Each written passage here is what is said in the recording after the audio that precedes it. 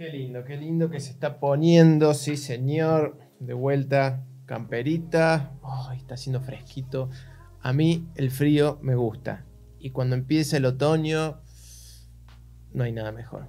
Media estación, ¿o no? Media estación. Es la que va. Es la que va. No nos de frío y no nos de calor. Es la que va.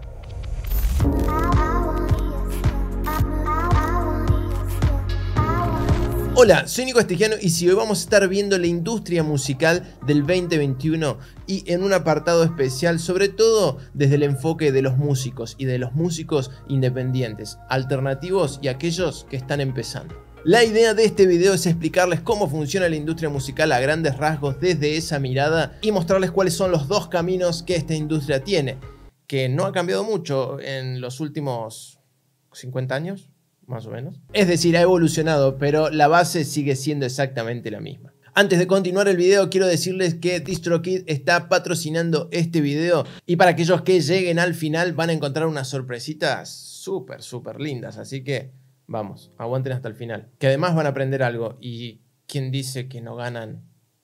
Ah, esperen, esperen. Para entender un poco más la industria musical tenemos que saber que básicamente lo que hace una industria es intercambiar un bien o transformar un bien en otro que se ha demandado por un consumidor. Entendiéndolo en simples palabras musicales, lo que básicamente nosotros hacemos los artistas es poner un producto que es la música, la industria musical elabora un producto a partir de eso y lo entrega a nuestros oyentes, a nuestros consumidores, a nuestros escuchas. Teniendo en cuenta esto, tenemos simplemente dos caminos que seguir o que elegir. La verdad que no tenemos otra opción y nunca hubieron otras opciones a lo largo del tiempo. Siempre fue igual, ya se van a dar cuenta por qué. El primer camino es en el que todos quisiéramos estar de manera fácil y sencilla, claramente no es así, y es a través del camino de las discográficas o de las editoriales. Estas discográficas, editoriales o como quieran llamarlos ahora, sellos discográficos, no sé, es siempre lo mismo, no ha cambiado nada a lo largo de los últimos 60 años, podemos llegar a decir. Simplemente ha evolucionado de distintas maneras. Básicamente este camino lo que requiere y es lo que tiene de contra, porque realmente no depende de nosotros, es que necesitamos que una discográfica o un sello discográfico se interese en nuestra música.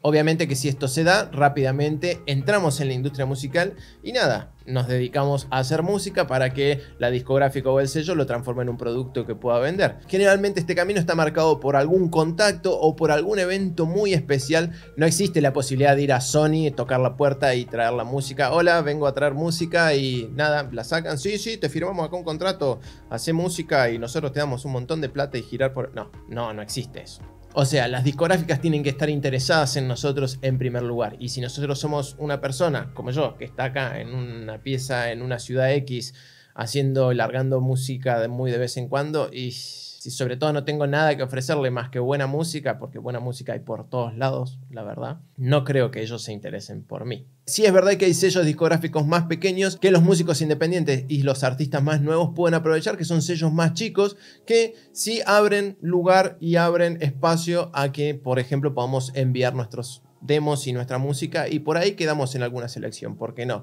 Pero por otro lado está el camino que es el camino que yo creo que hay que seguir, el camino que yo creo que hay que aprovechar al día de hoy, porque sí, este ha evolucionado y siempre ha existido a lo largo de la historia y es el camino del artista independiente. Hoy en día este camino se ha hecho muchísimo más fácil y muchísimo más simple de poder hacerlo con bajos recursos y bajo personal, es decir, podemos empezar haciéndolo nosotros solos de manera gratis, o sea, podemos empezar desde cero con cero, eso es genial. Para tener en cuenta, en la época que yo tenía mi banda, estamos hablando ya de unos 15 años atrás, lo cual es bastante, en donde estaba el CD físico y donde no había plataformas de streaming, no estaba YouTube, no había un montón de cosas que sí tenemos la posibilidad de tener hoy y que nos dan exposición. La única forma era, por ejemplo, invirtiendo y comprando afiches y pegándolos en las calles, en los postes de luz o, por ejemplo, hacer y grabar nuestro primer disco que salía muchísimo dinero y editarlo que salía muchísimo más dinero.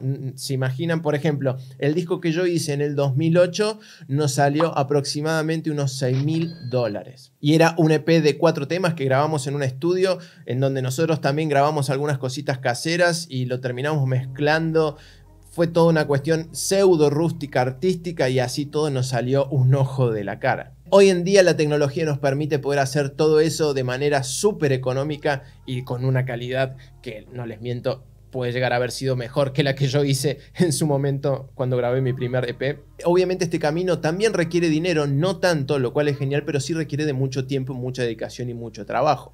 Hay mucho que hacer si queremos dedicarnos, si queremos decir, bueno, me voy a autogestionar, me voy a alargar mi música, voy a empezar largando un single, voy a empezar grabándome en casa, voy a empezar materializando todas estas ideas y todos estos sueños que tengo. Claramente no es una tarea sencilla, sino todos seríamos reconocidos y todos estaríamos viviendo de la música súper bien, cosa que no es así.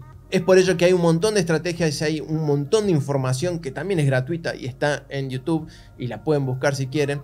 Tengo pensado, si es que les gusta, traerles mi plan de lanzamiento de los singles que voy a estar largando en los meses que vienen, con todas estrategias y con un montón de cosas que no solamente se las voy a mostrar acá en video en la teoría, sino que también las voy a ir llevando a la práctica y voy a ir evaluando qué es básicamente lo que necesitamos. Así que nada, si les parece una buena idea me lo dejan saber en los comentarios y les traigo también todo ese contenido. Y no hay más, esto es la industria musical de hoy en día y nos tiene que quedar muy claro para qué, para elegir nuestro camino y dejar de quedarnos en, ese limbo en donde no sabemos qué hacer una vez que tengamos nuestra música o no sabemos cómo materializar nuestras ideas. Obviamente la única opción que podemos tomar es la de autogestionarnos y en buen plan, porque hoy tenemos la posibilidad de tener mucho éxito autogestionándonos. Antes no era así y nos demandaba muchísimo tiempo, muchísimo dinero, había que invertir muchísimo. No digo que hoy no haya que invertir, pero era bastante difícil. Tenemos infinidad de lugares en donde mostrarnos de manera gratuita en donde tenemos que tener una estrategia y en donde tenemos que saber realmente bien lo que vamos a hacer. Espero que les interese este tópico, los voy a leer en los comentarios, ojalá que sí, porque tengo muchísimas ganas de traer todo este material y ayudarlos en lo que es la parte del marketing, del branding, de la promoción, de cómo lanzarse realmente en la práctica, no solo en la teoría. Como les dije al principio, DistroKid está sponsorizando este video y trae nuevas novedades que ya les voy a mostrar. Pero por otro lado también está sponsorizando un remix contest que está increíble y que les puede venir súper bien para dar ese primer escalón, más que dar ese primer salto, escalón, subir cinco pisos más o menos, porque está increíble. Ahora les paso los detalles. Hay novedades en DistroKid y no solamente eso, sino que han traído un montón de herramientas nuevas y cosas que están súper geniales. Pero lo más importante, y esto me lo pidieron mucho, y yo que sé que fue una queja en su momento cuando hice el primer video, es que ahora podemos subir nuestra música en DistroKid de manera mucho más sencilla. ¿Por qué? Porque ahora está todo traducido al español. Así es, a partir del interés que han tenido todos ustedes en DistroKid y en la plataforma, hemos podido presionar los creadores de contenido para que DistroKid ahora esté en español. Y así es, como pueden ver en pantalla, ahora está todo traducido al español para que puedan subir su música súper, súper genial. Como ya saben, DistroKid es una distribuidora digital que cobra una mensualidad para que nosotros podamos subir todos nuestros singles y toda nuestra música y obtengamos el 100% de nuestras regalías, lo cual es súper, súper genial. Ya saben que es la distribuidora que yo uso para subir mi música y se los recomiendo un montón. Les dejo un link en la descripción en donde pueden tener un 7% de descuento para cualquiera de los planes que elijan. Pero en segundo lugar, como les dije, el Remix Contest. Así es, DistroKid agrupó a un montón de creadores de contenido para hacer un concurso remix en el que cualquiera de ustedes puede participar. En los links de la descripción van a encontrar en la página donde van a ver todo lo que necesitan para poder participar de este concurso de remix que está súper bueno y además hay geniales, hay premios en dinero y muy buen dinero. Además voy a ser uno de los jueces que va a elegir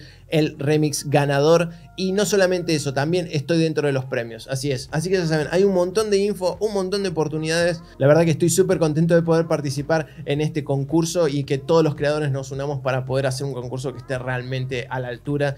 Hay, hay money, hay money. Así que bueno, nada, hasta acá, un montón de info. Pero bueno, como digo siempre, espero que les haya servido y nos vemos la próxima.